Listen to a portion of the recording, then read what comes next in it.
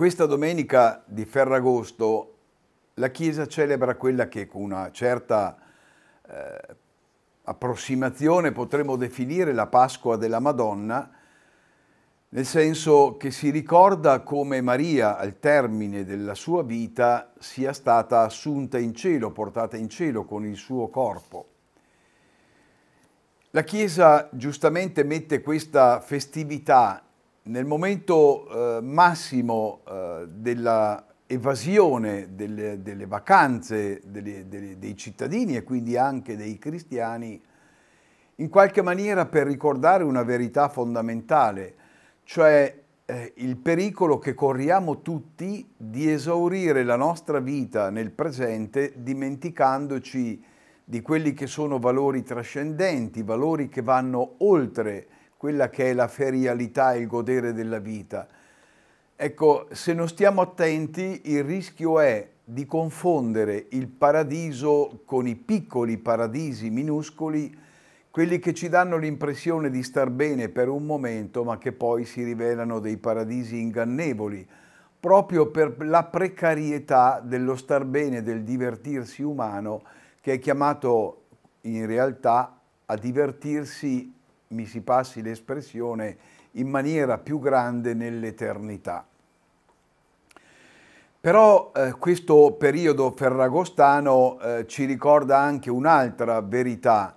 La verità è il bisogno che abbiamo tutti di evadere, di andare. Ecco, questo è il verbo giusto. Abbiamo tutti, sentiamo tutti il bisogno di andare, di vedere, di incontrare, di stare con le persone. E penso tante volte a quale sacrificio siamo disposti pur di andare. E sto pensando in questi giorni gli spostamenti sui nostri mezzi, sulle nostre automobili, colonne interminabili in autostrada, la stanchezza anche fisica che prende, perché tante volte questi spostamenti davvero finiscono per diventare da un punto di vista fisico più stancanti del riposo stesso che andiamo a incontrare nella vacanza. E ci domandiamo, Qual è la molla che ci fa uscire dalle nostre case dove abbiamo tutto, abbiamo l'aria condizionata, abbiamo i ventilatori, abbiamo i nostri frigoriferi pieni, abbiamo tutto il benessere che uno può pensare, le nostre, le nostre soluzioni che abbiamo sperimentato per star bene, quei nostri, i nostri servizi. Per cos'è che ci spinge ad uscire? Cos'è che ci porta ad avere questo bisogno ad andare, ad andare, ad esplorare? Io credo che sia lo stesso motivo che accomuna la festa della Pasqua di Maria, cioè la festa dell'Assunzione, con questo bisogno psicologico del, dell'uomo, della creatura umana, di andare. Noi siamo chiamati ad esplorare, ad andare avanti. In questi giorni mi è capitato tra le mani il libro di un senatore, un importante senatore, un uomo di cultura che insegna storia moderna, il quale si è chiesto come uscire eh, da questa situazione di pandemia che ci ha bloccati, da questa situazione che in qualche maniera ci ha anche resi sospettosi degli altri, perché è inutile che lo nascondiamo, oggi è in atto una una certa tensione tra coloro che dicono io ho fatto il vaccino, quindi io sono non infettante, e, e, coloro che invece non hanno fatto il vaccino e che noi riteniamo che possano essere la sorgente dei de portatori di, di, di, questa pandemia. E quindi anche questa, questa conflittualità psicologica che c'è nel paese, ma soprattutto e prima ancora in, questa, in questo momento nel quale l'economia, pur se tornata ad esprimersi nel turismo, in altre attività produttive, è ancora un'economia che conosce grandi sacche di, di, di, come dire, di, stanchezza, usiamo questa espressione, grandi sacche di sofferenza. Allora dicevo, questo senatore ha avuto un'intuizione, ha avuto l'intuizione di dire, ma eh, San Benedetto diceva che noi dobbiamo, per far girare il mondo, dobbiamo pregare e lavorare. Pregare e lavorare. E quindi il senatore trova che con questa espressione si racchiuda tutto quello che dovrebbe essere l'atteggiamento che noi usiamo nel nostro tempo. E allora che cosa fa? Fa che si mette d'accordo con due giornalisti, si mette d'accordo eh, con eh, un prete amico e dice partiamo da Norcia, i luoghi di San Benedetto, per arrivare a Monte Cassino. 305 chilometri da fare a piedi, attraversando gli Appennini, attraversando terre apparentemente abbandonate. E in questo suo libro, il senatore che risponde al nome di Gaetano Quagliarella, il senatore eh, dice che sono tre gli obiettivi di fondo eh, raggiunti o che si cerca di raggiungere con questo pellegrinaggio, con questa camminata che vorrebbe essere diventare il simbolo della ripresa, vorrebbe, vorrebbe diventare il simbolo del ripristino della qualità della vita pre-pandemia. E il primo obiettivo è quello legato certamente alla parola pregare, ora, l'ora di San Benedetto e lui dice diventa la contemplazione della natura.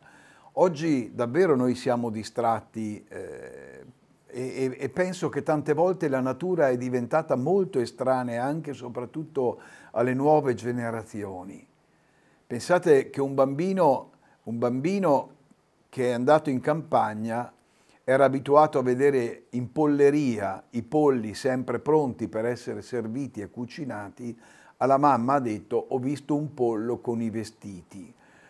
Può sembrare una battuta, può sembrare qualcosa che ci fa sorridere, in realtà ci sono proprio tanti bambini che non conoscono, che non conoscono più la cultura della fattoria, che non conoscono più la cultura che abbiamo conosciuto noi quando vivevamo a contatto con la terra, con i campi, con gli animali, allora l'ora di San Benedetto diventa questo pellegrinaggio che noi dovremmo tornare a fare nella natura, a piedi o negli altri mezzi, organizzando le nostre vacanze, organizzando qualche uscita nei boschi, nella montagna, eh, nelle località di mare per vedere la bellezza che si presenta a noi per riscoprire questa bellezza che poi è l'impronta di Dio. Dante diceva appunto che la natura è la figlia di Dio e quindi noi contemplando la natura in qualche maniera diventiamo dei contemplativi.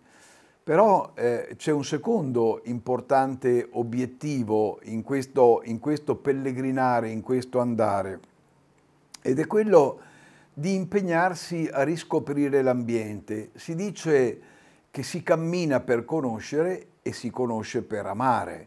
Si cammina per conoscere, si cammina certamente per conoscere e nel momento in cui si conosce si finisce per amare, credetemi.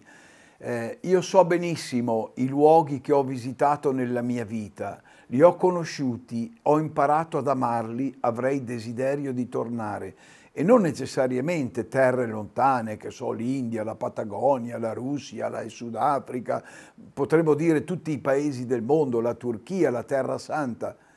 Noi siamo stati e abbiamo imparato ad amare quelle terre, perché quando si va si impara ad amare quelle terre. E allora quando conoscendo si impara ad amare, cresce una sensibilità una sensibilità che si trasferisce poi un animo più ecologico. Come ci dispiace quando sentiamo che una calamità ha toccato un ambiente che noi conosciamo, perché conoscere il territorio vuol dire imparare ad amare quel territorio e imparare ad amare quel territorio vuol dire imparare a rispettarlo, vuol dire far crescere dentro di noi la cultura del rispetto dell'ambiente, vuol dire io quella terra, io quelle montagne, io quel mare non lo voglio inquinato, quella montagna non la voglio sciupata, quel territorio, quel bosco non lo voglio rovinato perché mi è entrato nel cuore. Io credo che l'amore per l'ambiente debba partire proprio da questa conoscenza. Si cammina per conoscere e si conosce e conoscendo si impara ad amare. E infine credo che il pellegrinaggio sia qua a ricordarci l'importanza della convivenza. Quando si cammina con qualcuno si impara a diventare amici.